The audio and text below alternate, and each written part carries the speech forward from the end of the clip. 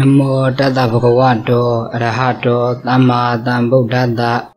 နမောတတ္တဗုဒ္ဓဝါတောအရဟတောသမ္မာသမ္ဗုဒ္ဓတ္တနမောတတ္တဗုဒ္ဓဝါတောအရဟတောသမ္မာသမ္ဗုဒ္ဓတ္တအရဟတောလူနာမြမတတ္တဝါအလုံးတို့၏ပူဇော်အထုကိုခိုင်တော်မူထိုက်ထသောအရဟတောလုံဆောင်သောကိလေသာမှန်သမျှကိုအကျွင်းကြံမရှိအကုန်အစင်ပယ်တတ်တော်မူပြီးထသောအရဟတောစိတ်ွယ်ရရ၌ပင်လည်းမကောင်းမှုအကုသိုလ်ကိုပြုတော်မမူတတ်ထသော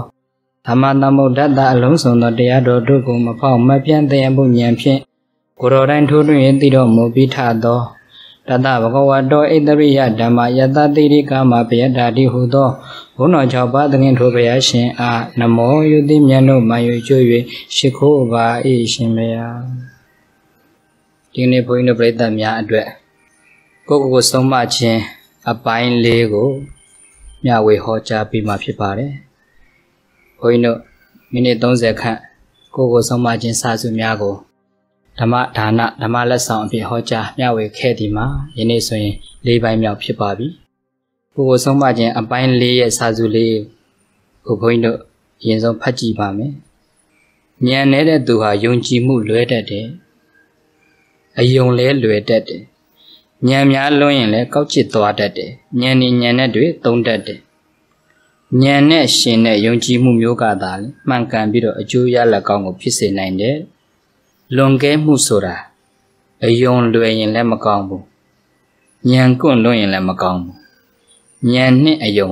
တူညီဆုံးမှအယုံလဲမှန်ဉာဏ်လဲမှန်၏ချင့်ယုံတတ်မှသင်ကုန်မြတ်၏ဉာဏ်နဲ့တဲ့သူဟာယုံကြည်မှုလွဲတတ်တယ်သူကပြောမယ်ဆိုရင်တော့ပါဠိစာပေမှာကတော့တတ္ထာနဲ့ပညာကိုပြောတာပါ တတ္ထာဆိုတာယုံကြည်မှုပညာဆိုတာကစဉ်းစားဆင်ခြင်မှုသူကယုံကြည်မှုအားကောင်းပြီးတော့အသိဉာဏ်မပါရင်တလွဲတွေလျှောက်ပြီးတော့လုပ်တာအယုံလွယ်သွားတော့တရားတရားအားကောင်းပြီးတော့ပညာမပါရင်တလွဲတွေလျှောက်ပြီးတော့ကိုးကွယ်တတ်တယ်မင်းဝင်ဆရာတော်ဘုရားကြီးကတတ္တာလွန်ကဲပညာနဲ့တလွဲယုံတတ်တယ်တရားတရားဆိုတဲ့ယုံကြည်မှုကအားကောင်းတယ်ရှုကတရားတရားသိအားကောင်းတာ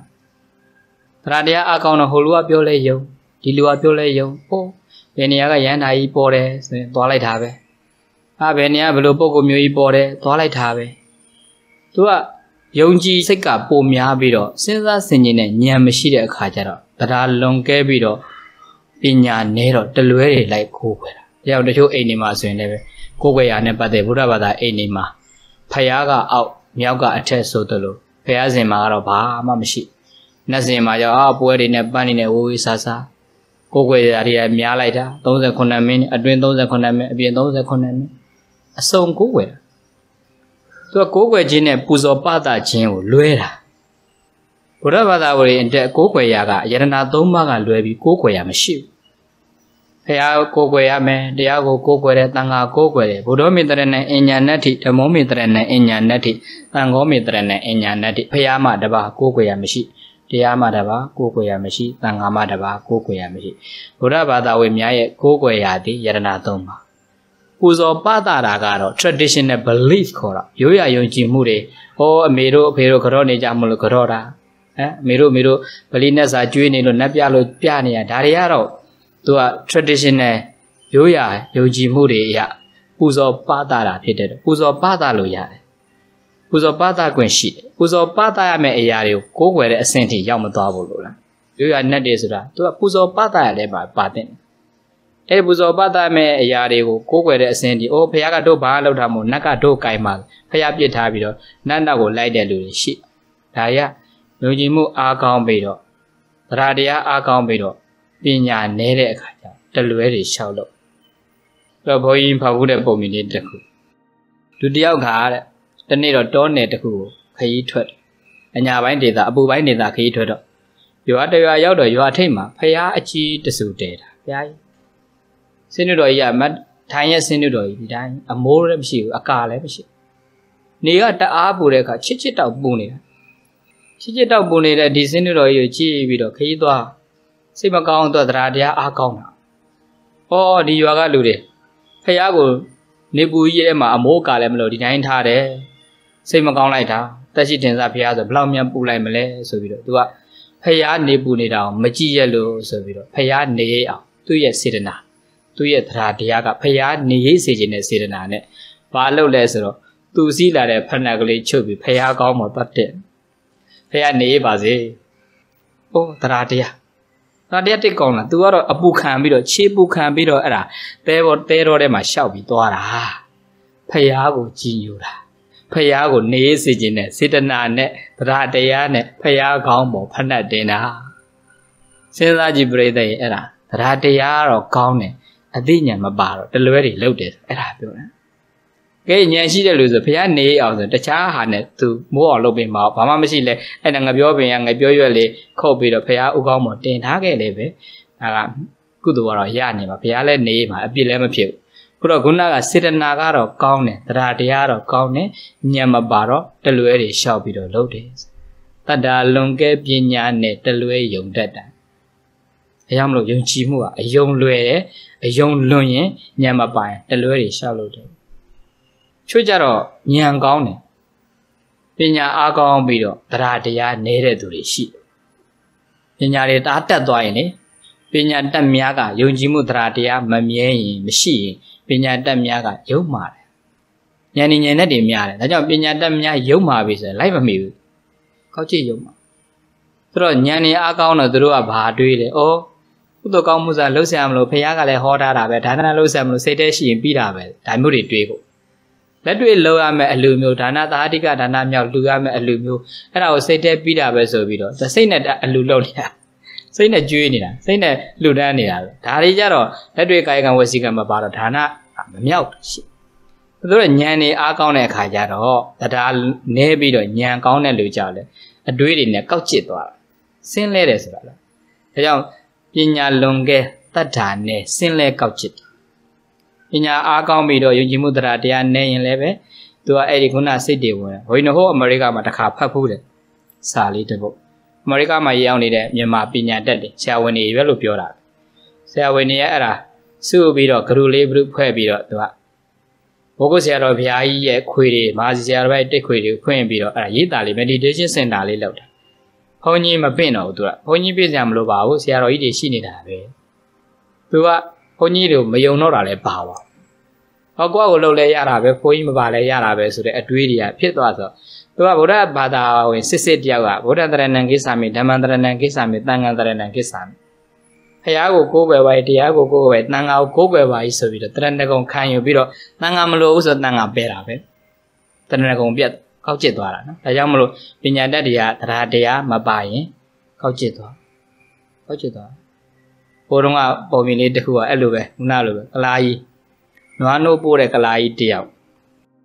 နွားနိုးပို့တဲ့ကလာကြီးတယောက်ကသူကနွားနိုးအိုကြီးစပိန်မော်တင်ပြီးတော့အဲ့ဒါအိမ်လိုက်ပို့ရင်းနဲ့ဒီနေ့တော့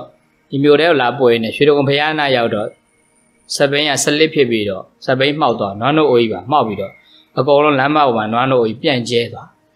ပြန်ကျဲတော့နောက်တော့ရဘာမှမရှိတဲ့အခါကျတော့ကလာကြီးကဘာမပြောညာမပြောနဲ့အဲရွှေတုံဖျားပဲလှဲ့ပြီးတော့လက်ဝရှိပြီးတော့မှောက်သွားတဲ့နွားနို့အိုကြီးရွှေတုံဖျားကိုလူပါတယ်ဖျား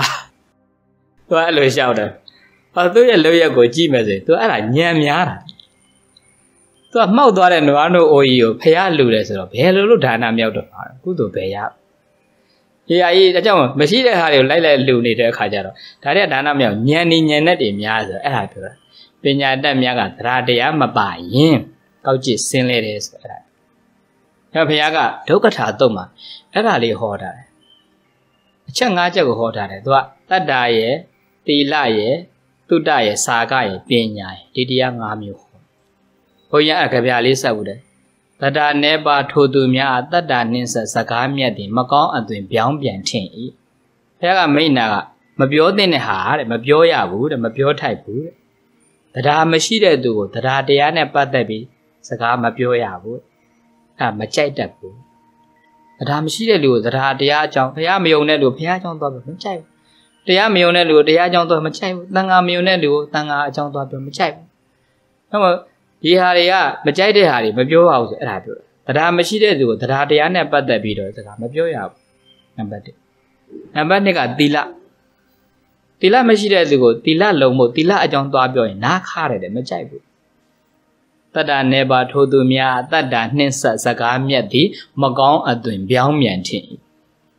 တိလနေပါထိုသူများတိလနှင့်ဆက်စကားမြတ်သည်မကောင်းအသွင်ပြောင်းမြန်ထင်တိလမရှိတဲ့သူကိုတိလအကြောင်းပြောမကြိုက်ဘူးထို့အတူပဲတုတ္တတုတ္တနေပါထိုသူများတုတ္တနှင့်ဆက်စကားမြတ်သည်မကောင်းအသွင်ပြောင်းမြန်ထင်တုတ္တဆိုဘုဟုတုတ္တ general knowledge ပဲဘုသူရမရှိတဲ့သူကိုဘုသူရအကြောင်းနဲ့ရှောက်ပြောတယ်အာဘယ်ဟာဘသူမှမသိတာသူမှမရှိတာသူမကြိုက်တော့ အဲ့ဒါဘုဒ္ဓမရှိတဲ့သူဘုဒ္ဓအကြောင်းပြောရင်လည်းနားခါတယ်မကြိုက်ဘူးတဲ့မပြောကောင်းနဲ့ပြောရင်ပြောတဲ့သူအပြစ်ရှိတယ်အပြစ်ရတယ်တတ္တာသီလတုဒ္ဒစာကစာကဆိုတာစွန့်ကြဲတာဒါနလို့စာကနေပါထိုသူများစာကနှင့်ဆက်စကားမြတ်သည်မကောင်းအသွင်ပြောင်းပြန်ခြင်းဒါနလို့ရတာဝါသနာမပါတဲ့သူကိုအလှလို့ဖို့သွားပြောရင်မကြိုက်ဘူးတဲ့မလှကျင်တဲ့လူကိုလှပါလို့သွားပြောရင်နားခါတယ်တဲ့ ကျို့မစ္စရိယပဲမစ္စရိယကမပေးခြင်းတာတရားကပေးခြင်းတာဒါနကလှုပ်ခြင်းတဲ့စိတ်ကလေးရှိမှသူကလှုပ်ဖြစ်တာအဲ့လိုမျိုးလှုပ်ခြင်းတဲ့စိတ်မရှိတဲ့လူသွားအလှခံရင်လှခံတဲ့လူအပြည့်ရဟောမပြောသင့်တဲ့ဟာမပြောရဘူးတဲ့နော်ဒါကြောင့်မစ္စရိယနဲ့တတ်တာကတိတ်ပြီးတော့ဒါသူကဆန့်ကျင်ဘက်တရားကယုံကြည်တာမစ္စရိယကမယုံတာကန့်ကွက်တာသူကမပေးခြင်းတာမလူခြင်းတာမတန်းခြင်းတာမစ္စရိယကဝင်တိုးတာ တရားတရားနဲ့မစ္စရိယအဲ့ဒါပဲဒါကြောင့်ဒါနဆိုတာတဲ့လှုပ်ချင်စိတ်ရှိတဲ့လူကိုပြောမှလှုပ်ချင်တာလှုပ်ချင်တဲ့စိတ်မရှိရတဲ့လူကိုသွားပြီးတော့ပြောရင်အဲ့ဒါကအပြည့်ရတယ်တဲ့ဒါကြောင့်မလို့သူကဒါနနဲ့ပတ်သက်ပြီးတော့လည်းမကြိုက်ရင်လက်မခံနိုင်မပြောရဘူးတဲ့နံပါတ်5ကပညာပညာနဲ့ပါထိုသူများပညာနဲ့ဆက်စကားမြတ်သည်မကောင်းအသွင်ပြောင်းမြန်ခြင်းပညာမတတ်တဲ့သူကိုအသိဉာဏ်မရှိတဲ့သူကိုလည်းအသိဉာဏ်နဲ့အကြောင်းနဲ့ပတ်သက်ပြီးတော့သွားပြောရင်လည်းမကြိုက်ဘူးတဲ့ နားခါတယ်ဟောဒါကြောင့်မလို့ခုနကပညာတတ်တွေပြောကျင်တာတရားတရားမရှိတော့ပညာအားကောင်းမြင်တရားတရားနဲ့တော့ဆင်းလက်ကောက်ကြည့်ပြီးတော့လေသူကတန်ခါလည်းပဲစော်ကားဖို့ဝင်မလေးဘူးခုနောက်ပိုင်းအင်တာနက်တွေမှာအဲ့ဒါတွေဘုန်းကြီးတို့တွေ့တွေ့နေရတခါတခါကြရင်ဘာမဟုတ်တဲ့သူများကပြောတဲ့စကားမှန်သလားမှားသလားကိုယ်ပိုင်စဉ်းစားဉာဏ်နဲ့မရှိတော့အဲ့ဒါနောက်ကအောက်ကနေကွန်မန့်တွေရေးပြီးဆဲလိုက်ကြတာဘုန်းကြီးလည်းဆဲရတာဆဲလိုက်တာမှ သူတို့အစာကိုကတော့ကြောက်တယ်ကိုကတော့ကြောက်တယ်တော်တော်ပက်ပက်ဆက်ဆက်ဆဲတာတကယ်တမ်းကျတော့အဲတန်ငါမှာတန်ငါလို့တွက်လိုက်ရင်ဒုတိလဆိုတာမရှိဘူးပုတ်ကိုတာတယ်ဒုတိလရှိတယ်ယဟန်နဲ့တန်ငါကိုမကွဲဘူးလူတွေကယဟန်တတိပုဂ္ဂလဘုန်းကြီးဆိုရင်ဒါယဟန်ပဲတတိပုဂ္ဂလအနေနဲ့တော့ဘုန်းကြီးအကျင့်မကောင်းရင်ဘုန်းကြီးခံရတာဆိုတော့ဘုန်းကြီးကိုအကြောင်းပြပြဟာတန်ငါတွေကလည်းကွာလို့ပြောရင်ဒါတန်ငါထိသွားပြီးတော့စော်ကားလိုက်တာဖြစ်တန်ငါမှာဒုတိလဆိုတာမရှိ ဆိုအဲ့ဒါကကိုကဉာဏ်ပညာပါမယ်အသိရှိရအသိမရှိရင်သူများပြောလို့ရှောက်လို့လို့ရင်းနဲ့ကိုကဒီဝစီပေဒထိတိုင်းရှာပြီအဲ့ဒီအကုသိုလ်ဖြစ်တယ်ကိုရတာဒါမှအသိဉာဏ်နဲ့လေတရားတရားနဲ့ balance ဖြစ်ရချစ်ချင်ရပညာလွန်ကဲပြီးတော့ယုံကြည်မှုနည်းရင်လည်းပဲစင်လဲကောက်ကြည့်တတ်တယ်လို့ယုံကြည်မှုအားကောင်းပြီးတော့အသိဉာဏ်နည်းရင်လည်းပဲတလွဲတွေလိုက်ပြီးတော့လှုပ်တတ်တဲ့အတွက်ကြောင့်တဲ့မြတ်စွာဘုရားရှင်ကလည်းအဲ့ဒီ ဒီတရားနှစ်ပါးညီမျှရမယ်တဲ့တတ္ထာနဲ့ပညာယုံကြည်မှုနဲ့ပညာတရားက balance ဖြစ်ရမယ်အဲ့ဒီတတ္ထာနဲ့ပညာယုံကြည်မှုတူဖို့ဆိုရင်တတိတရားကဈာကအချုပ်ပဲတတိတရားထိုးနှစ်ပါးတရားညှိပေးသည်တတိတရားကဒါလေးနှစ်ခုကိုညီမျှအောင်ညှိပေးတာတရားလွန်ခဲ့ရင် ပညာနည်းတတ်တယ်ပညာလွန်ခဲ့ရင်တရားနည်းတတ်တယ်တခုများရင်တခုရှားတဲ့အတွက်ကြောင့်တရားလွန်ခဲ့တဲ့အခါမှာပညာလေးပါအောင်တတိလေးကထိမ့်ပေးရပညာအားကောင်းပြီးတော့ယုံကြည်မှုအားကောင်းယုံကြည်မှုနည်းသွားတဲ့အခါမှာလည်းပဲတတိတရားလေးကပညာတတ်တယ်ကောက်ကျစ်စင်းလက်အဆင့်တွေရောက်မသွားတတိတရားလေးကထိမ့်ပေးရ။အဲအယုံလွယ်တဲ့သူနဲ့ဉာဏ်ဉာဏ်နဲ့များတဲ့သူတွေမှာနှစ်ခုလုံးကအပြစ်တွေအစွန်းရောက်သွားတာဖြစ်တဲ့အတွက်ကြောင့်ယုံကြည်မှုဆိုတဲ့တရားတရားကို တတ္တာဆိုတဲ့တရားတရားကိုယုံကြည်မှုကိုတတိလေးကပ်ပြီးတော့ပညာတရားနဲ့ချင့်ချင်ပေးရ။ဒီလိုဗုဒ္ဓစာပေတွေမှာအများကြီးရှိတာ။လူတွေမှာကဟိုယုံထွက်နိုင်တဲ့စွမ်းအားမရှိရင်ဟိုလက်ခံထားတဲ့အယူဝါဒကြီးကိုအမှန်လို့ထင်သွားတော့အမှန်လို့ထင်သွားတော့ယုံကြည်မှုအားကောင်းနေတဲ့ပုဂ္ဂိုလ်ကမှားနေတဲ့ယုံကြည်မှုကိုလည်းပဲဉာဏ်နဲ့ ချင့်ချင်ပြီးတော့ယုံထွက်နိုင်တဲ့စွမ်းအားမရှိရင်အမားကိုးဝယ်တာအမားကိုပဲဆိုတချို့ဆိုအသက်သေးခံပြီးတော့အဲ့ဒီအယူမှားကြီးကိုလက်ခံယူမှားကြီးလက်ခံတာအဲ့တော့ဖရာလက်ထက်ကလည်းပဲမြတ်စွာဘုရားရှင်နဲ့စင်ပြိုင်ပေါ်ခဲ့တဲ့ဆရာကြီးတွေရှိတော့ဒိဋ္ဌိဆရာကြီးတွေအဲ့တော့ဒိဋ္ဌိဆရာကြီးတွေမှာလည်းပဲသူ့ကိုယုံကြည်တဲ့သူသူ့ကိုးကွယ်တဲ့လူတွေကရှိနေကြတာဆိုတော့ကျန်တဲ့လူမကြည့်နဲ့ဘုန်းကြီးတို့မြတ်စွာဘုရားရှင်အက္ခတာဝကကြီးတွေဖြစ်တဲ့ရှင်သာရိပုတ္တရာတို့ရှင်မာမောက္ကလန်တို့ရဲ့ လက်ဦးဆရာတွေကသူတို့ကရဟန်းမဖြစ်ခင်ကတိန်ကြီးဆရာကြီးဆိုတဲ့ဆရာကြီးရှိမှာဥပဒေတာနဲ့ကောလိတာဆိုတာတငယ်ချင်းနှစ်ယောက်အဲ့ဒီဆရာကြီးရှိမှာတပည့်ခံပြီးတော့ပညာရည်တွေသင်ခဲ့တာဘုရားပွင့်နေတဲ့အချိန်မှာတော့အဲ့တော့တိုးတော့သူတို့ကဆရာကြီးရှိမှာပညာသင်ပေမဲ့ဉာဏ်နဲ့ကောင်းတဲ့ခါကျဆရာကြီးသင်တဲ့ပညာအကုန်လုံးရတော့သူစဉ်းစားတယ်ဒါရငါတို့လိုချင်တဲ့ပညာရည်တွေမဟုတ်ဘူးငါတို့သိချင်တဲ့တရားမဟုတ်ဘူးဆိုပြီးတော့သူတို့ဆရာကြီးရှာခွဲထွက်ပြီးတော့နောက်တရားရှာရင်နဲ့မြတ်စွာဘုရားရှင်ရဲ့တပည့်တစ်ပါးဖြစ်တဲ့ ရှင်အတ္တစီမထေရဆိုတာပင်စားဝကိငါးဦးထဲမှာယန္နာဖြစ်သွားတဲ့မထေရကြီးနဲ့သွားတေးတော့မှာဘုရားတရားကိုနာရင်းနဲ့သူတို့လူဘဝနဲ့သောတာပန်တီးတကယ်ချင်းရင်လည်းပြန်ပြောနှစ်ယောက်လုံးကလူဘဝနဲ့ပဲသောတာပန်တီးတော့ဘုရားသာသနာဝင်မယ်ဆိုပြီးတော့ဒါပေမဲ့သူတို့ကြီးပဲမဝင်ခြင်းဘူးဒီလောက်ကောင်းတဲ့တရားတော်တွေငါတို့ရဲ့ဆရာကြီးကိုလည်းပဲအတိပေးပြီးတော့ဆရာကြီးပါတခါလဲခေါ်သွားမယ်ဆိုတင်ကြီးဆရာကြီးကြီးသွား ဆရာကြီးကျွန်တော်တို့တော့မြတ်စွာဘုရားရှင်တရားတွေအစစ်မှန်တွေတွေ့ပြီးဆရာကြီးလည်းကျွန်တော်တို့နဲ့အတူတူလိုက်ပါလားကျွန်တော်တို့ဘုရားဂေါရမရဲ့ဒီဘက်ခံယူပြီးတော့သာသနာ့ဘောင်ဝင်တော့မယ်ဆရာကြီးသွားခေါ်ဆရာကြီးကပြန်ပြောတယ်ငါတပည့်တို့တဲ့ဆရာကြီးပြောတဲ့စကားလေးကသိကောင်းတယ်မင်းတို့လောကမှာလူမိုက်နဲ့လူလိမ်မှာ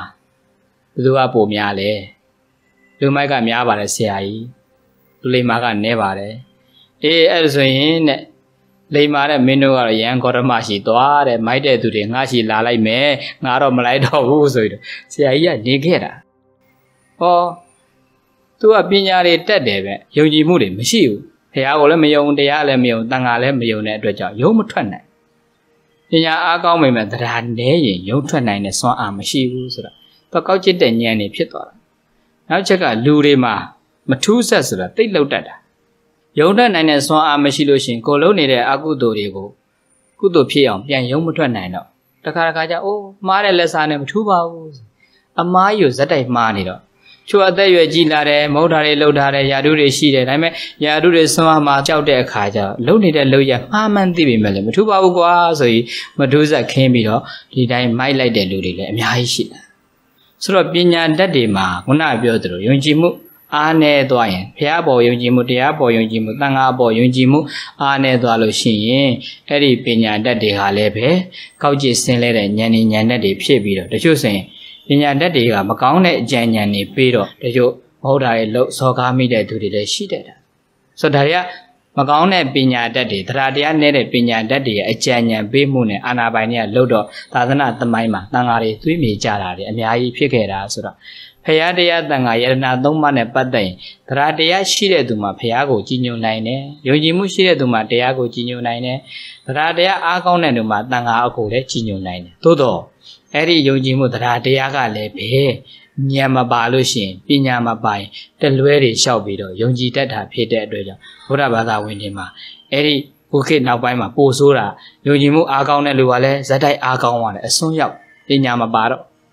ကျွတ်လည်းညာအားကောင်းတဲ့သူကလည်းပဲတရားတရားကိုမပါတော့အစွန်းရောက် extreme ဖြစ်သွားတယ်ဒါကြောင့်မလို့အစွန်းရောက်ရင်အစွန်းရောက်အစွန်းရောက်ရင်ပြုတ်ကြမြတ်စွာဘုရားက the middle way အလယ်လက်လမ်းမစ္စည်းမပရိပဒါအလယ်လက်ကြအောင်လုပ်ရမယ်ပြေတန်းဟောတော်မူတယ်ဘာပဲလုပ်လို့အစွန်းရောက်သွားရင်မကောင်းဘူးယုံကြည်မှုအားကောင်းသွားရင်လည်းအစွန်းရောက်တယ်ပညာအားကောင်းသွားရင်လည်းအစွန်းရောက်တယ်ယုံကြည်မှုနဲ့ပညာကိုညီမျှအောင်လုံးမှမှန်ကန်တဲ့ကိုယ်ွယ်မှုနဲ့မှန်ကန်တဲ့လမ်းကိုရှောက်နိုင်တာဆိုတော့ဘုန်းကြီးတို့ဗုဒ္ဓဘာသာဝင်တွေမှာတချို့ ပညာအားနည်းတဲ့ဘုရားဘာသာဝင်တော်တော်များများရှိတော့အိမ်မှာကိုးကွယ်တဲ့ဘုရားကအစဘုန်းကြီးတို့ပြင်မယ်ဆိုရင်ဘုရားရှင်ကအစဘုရားကျောင်းဆောင်အစပြင်စရာတွေအများဘုရားဆုံးတော်ကတ်ထားတယ်တချို့ကတတ်တော်ထင်ရှားဘုရားရှင်ကိုအာယုံပြီးဆုံးတော်ကတ်တယ်ဆိုရင်တတ်တော်ထင်ရှားပုဂ္ဂိုလ်တယောက်လိုအာယုံပြီးတော့ကတ်ဖို့တင့်တာပေါ့လက်ဖက်သားပကံများတော့ထမင်းပြူလေးထဲပြီးတော့သူထင်ရှားလေးနှလုံးတရားလေးတစ်စုံလောက်နဲ့တင်ထားတာရှိအဲ့ဒါမစွန်းတော့ဘူးအဲ့ဒါညပေးရစိတ်လက်တက်နောက်နေ့ကျမှပြန်စွန်း ဆိုတော့ကအများကြီးကပ်ဖို့မဟုတ်ပဲဥပြားပြားလေးကပ်ရင်လုံလောက်ပြီစက်နိုင်မထိုးခင်စွန့်ရကိုယ့်ဘာသာကိုစဉ်းစားမှာထညက်လေးနှလုံးလောက်နဲ့ထမင်းစားလို့ရလားကြားလေးတစုံနဲ့ထမင်းစားလို့ရလားကိုမရရင်ဖျားလည်းပဲအဲ့ဒီပုံစံမျိုးလှူတာတွေကရှောင်ကျင်ဖို့တင်တာပေါ့နော်တချို့ရလည်းပဲတည်တည်တွေကတ်ထားရှိတယ်ဈေးထဲမှာတည်တည်တွေ့တော့ဝယ်လာတော့အိုးမပြောသေးလှလှတွေတည်အသီးတွေလှလှတယ်အစိမ့်နေဝယ်လာတာပဲ ဆိုအိမ်ရောက်တော့တေချာဆေးကြောပြီးတော့အဲဘုရားကိုဆွတော်ကတ်ထားတယ်ငပြောတိအလူတေတိစိမ့်အလူဆိုတော့၃ရက်လောက်ကြာတော့ဒီငပြောတိအစိမ့်ကမှဲ့သွားတေတိစိမ့်ကမှဲ့သွားတယ်မှဲ့လဲမှဲ့ရောသူကစွန့်ပြီးတော့စာဘုရားတော်လှည့်မကြည့်ဘုရားចောင်းဆောင်ကတေတိဥဒ္ဒစင်လို့ဖြစ်နေစိမ့်တဲ့အချိန်သွားကတ်ထားတယ်တကယ်စားလို့ရတဲ့အချိန်ကျတော့ဘုရားကိုမကတ်တော့သူကစွန့်စားစိမ့်နှုံသွားကတ်ထားဆိုတေတိသွားဥဒ္ဒလို့ဖြစ်ကိုယ့်ဟာကိုအစိမ့်စားလို့ရစဉ်းစား ဆိုတော့မကတ်နိုင်မို့ကတ်ပါစိမ့်တော့ခါကတ်ထားမဲ့တဲ့အခါလည်းပဲတစ်လုံးလောက်တော့ခွဲပြီးတော့တေချာဇွန်းလေးခင်းလေးနဲ့ဘုရားကိုလှူရင်နှစ်ခါကုသိုလ်ရတာပေါ့ဒါကအဲ့ဒါတရားတရားကိုညံလေးနဲ့ရှင်ရတချို့ကြောက်လည်းပဲအဲ့ဒါပန်းကတ်တာလည်းကြီးသေးတယ်ဟိုးကြာကြာခံအောင်စောစိမ့်တို့စောကြားတို့အမြင့်ထွက်ရင်ပိုခံတယ်ဆိုတဲ့လူတွေကရှိတယ်ဘုန်းကြီးနဲ့တွေ့တယ်အဲတချို့ကဘုန်းကြီးရွက်ပြောတယ်အေးအမြင့်ထွက်ရင်ကြာကြာခံတယ်ဆိုရင်တော့အဲစောစိမ့်နေစောကြားတွေကတ်မနေနဲ့ဖျားစင်ပေါ်တစ်ပင်နာဆိုင်ထားလိုက် flowers donation ပန်းအလှဆိုတာကအနံ့လေးတွေအယောင်လေးတွေရှိအောင်လှူတာပဲမလှူလို့လည်းဘုရားကမပြောပါဘူးဆိုပန်းအနံလေးရှိတယ်အမွေးလေးရှိတယ်အယောင်လေးရှိတယ်ပန်းကိုကတ်ပြီးလို့ရှိရင်ရေကိုလည်းအပြည့်မထဲနဲ့အယိုးမြန်မြန်ပုတ်တယ်ရေများရင်စက်တဝက်လောက်ဆိုရေကလုံလောက်ပြီအဲဆိုတော့ရေမြုပ်တဲ့နေရာလေးတွေမှာအရွက်တွေလည်းခြွေပြီးတော့အယိုးလေးတက်တက်ထားရင်ဒီဖျားပန်းကိုရေစီးတိုင်းရေစီးတိုင်းကုသိုလ်ရနေတာတောက်တော်ရေလဲတိုင်းလေးတိုင်းကုသိုလ်ရနေတာ ဘုရားအကြောင်းဆောင်မှာကကုသိုလ်တွေယူစရာတွေအများကြီးဉာဏ်လေးရှင်ဖို့ပဲရေးချတာဟိုကြကြခံအောင်ကတ်ထားလားအမြင့်ထွက်အောင်ကတ်ထားလားပန်းလူရကုသိုလ်ရအောင်ကတ်ထားလားစဉ်းစားတချို့ကအမြင့်ထွက်ရင်ကြကြခံတယ်ဆိုအမြင့်ထွက်အောင်ပဲကတ်ထားတယ်ဖြစ်ဒါတွေကလည်းပဲဘုရားအကြောင်းဆောင်ဆင်ခြင်စရာတချို့ကြောင့်လည်းပဲအဲ့ဒါဟိုကြံပိုင်းလေးဖြတ်ပြီးတော့ဘုရားအကြောင်းဆောင်ပေါ်တင်ထားတဲ့လူတွေရှိတယ်။အဲအကြံညာအောင်လို့ကြံတင်လို့သာအကြံညာအောင်ပဲဆိုဟိုမှာမျိုးလာလို့ရေနေလို့ကြံဆိုင်တဲ့လူတွေတော်တော်ချမ်းသာပြီ။ကြံစည်မကောင်းလို့မွေးတယ် ပြောချင်တာကကြံတင်တိုင်းအကြံအောင်တာမဟုတ်ပါဘူး။အောင်တပြေတင်တိုင်းအောင်မြင်မှုရတာမို့ကိုကိုယ်တိုင်ရဲ့လှုပ်ရက်ကောင်းမှအောင်တာပါကိုယ့်ရဲ့ပုံမှာမူတည်တာဘုရားအဲ့ဒါညံနဲ့ရှင်ရမယ်လို့ပြောတရားတရားကညံမပိုင်တလွဲတွေဖြစ်တတ်တာဆိုတော့မြတ်စွာဘုရားရှင်ကတော့ဟိုနှလုံးသားမှာဖျားတဲအောင်ပဲပြောတာဘုရားတဲဘုန်းကြီးတို့အခရဏပြောတယ်ဘုရားဘာသာဝင်နေဘုရားရောက်ပြီးဘုရားပြောင်းနေတဲ့သူတွေအများကြီးရှိတယ်တရားတရားအားကောင်းတယ်ညံမပါတော့ဘုရားရောက်ပြီးဘုရားပြောင်းနေ ဘယ်လိုတွေဖြစ်နေဆိုတော့အခုနောက်ပိုင်းရွှေတကုံဘုရားသွားတယ်အိန္ဒိယဘုရားသွားတယ်ဘုရားသွားရင်သူတို့ကဖះရှိခိုးဖို့တဲ့ဖះရောက်ရင်ဘာအရင်ရှာလဲဆိုဂျိုးတိုင်းအရင်ပတ်ရှာတနင်္ဂနွေတနင်္လာအင်္ဂါသူဂျိုးတိုင်းရောက်အောင်ရှာတာဂျိုးတိုင်းမတွေ့ရင်ပတ်ရှာတယ်ငါဂျိုးတိုင်းလေးပဲရောက်သွားပြီလေဂျိုးတိုင်းလေးတွေ့တော့မှအဲ့ဒါဂျိုးတိုင်းရှေ့ရောက်တဲ့အခါကျတော့လည်းပဲဖះရှိခိုးလို့ဆိုမရှိခိုးသေးဘူးဂျိုးတိုင်းမှာရှိတဲ့ဖះကိုအဲ့ဒါရေးတယ်နေဘူးမရှောင်မိုးရွာမရှောင်လောင်းကြတာနေဘူးလဲလောင်းမိုးရွာလဲလောင်းအဲ့ဒါပဲ ခေါင်းမွာစပြီးလောင်းပြီးတဲ့အခါကျတော့မှအဲ့ဒါအောက်နောက်ကနတ်သားလဲရေပတ်ရေဖြန်းရတယ်အောက်မှာရှိတဲ့အယုတ်ကလေးလဲရေလောင်းရတယ်ပြီးတော့မှဘုရားရှိကျုံကျုံထိုင်ဤကုသိုလ်ကောင်းမှုကြောင့်ဖြစ်လျက်ဘဝတိုင်းဘဝတိုင်းဘာဖြစ်ရမလို့ညာဖြစ်ရမလို့တောင်းလိုက်တဲ့စုတွေကအများဘုန်းကြီးပြောတယ်အဲရမယ်လို့အာကြီးကြီးဆိုတော့ဟိုအလကားရတဲ့ရေနဲ့သွားလောင်းပြီးတောင်းလိုက်တဲ့စုတွေကအများကြီးဘုန်းကြီးတစ်ပည့်လေးတယောက်အဲ့ဒါတစ်နှစ်ကလားဆောင်းနှင်းကြီးမှာအဲ့ဒါ ဒီလောက်အေးတဲ့အချိန်ကြီးမှာ၄နိုင်ခွဲလောက်ဖះသွားပြီးတော့ဖះကနေဖုံးဆက်တယ်ဖုံးဖုံးမရတဲ့ဒီနေ့တပိတော့မွေးနေ့အဖြစ်အဲဖះသွားပြီးတော့ရေတက်ပေတာဗျာတဲ့အဲ့ဒါရှင်ဘုရားဝမ်းသာအောင်လှမ်းဆက်တာပါဗျာဘုန်းကြီးကပြောတယ်သမီးနီဖះသွားကနေမနေ့ကရေချိုးသွားလားဘယ်ချိုးမလဲဗျာတဲ့ဒီလောက်ကြီးအေးတာကြီးဟိုတဲ့ကြီးကြတော့အေးလို့ရေပချိုးဖះကြတော့၄နိုင်ခွဲလောက်ခေါင်းကနေရေသွားလောက်သဘာဝကိုကြားရလား အဲ့လိုပြောဟောတက်တော်တင်ကြဖះရှင်အောင်ဟိုတချို့ဆိုလည်းနွေရာသီတလောက်ပူတဲ့အိုက်တဲ့ချိန်ကြီးမှာဖះရှင်သွားပြီးတော့စီမီအလူဆိုရင်နေကင်းကြောင်တော့ဖះနိုင်အစည်းလိုက်ရေးသွားပြီးတော့အဲ့ဒါမီးပူစော်တယ်လို့သူတို့ပြောတာဘုန်းကြီးကမီးပူစော်တာမဟုတ်တာမီးမြိုက်တယ်လောက်ပူတာကိုအောင်ရက်ခတ်နေတာဖះတော်တော်ကြီးလှုပ်တာ အဲ့ဒါရွက်ပြောတယ်သမီးနောက်တစ်ခါကျရင်မွေးနေဆိုရင်စောင်းနှင်းကြီးဖះမသွားနဲ့ကိုယ့်ရဲ့ကျေးဇူးရှင်အဖေကိုအရင်နှုတ်အဖေဒီနေ့သမီးမွေးနေအဖေကိုရေပူဇော်ခြင်းလို့ပါရေလောင်းခြင်းလို့ပါအဖေအရင်ရေလောင်းအောင်လို့နေ့အဖေလက်ခံမှာဖះသွားကိုယ့်အဖေအရင်တော်မှာလက်မခံဖះဘလို့လုံးမှာတော့စဉ်းစားရမှာအဲ့ဒါတရားတရားကယုံကြည်မှုတရားတရားကညံမပိုင်တလွဲတွေလျှောက်ပြီးလှုပ်တတ်တဲ့အတွက်ကြောင့်